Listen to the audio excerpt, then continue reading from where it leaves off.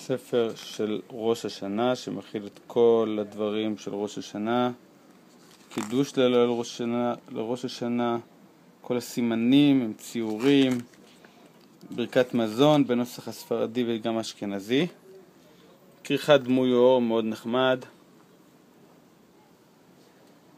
יפה לחלוקה, ואפשר גם לעשות כמובן, כמו שאתם רואים, את הכיתוב. מזכרת מבר המצווה, ציור של תפילין.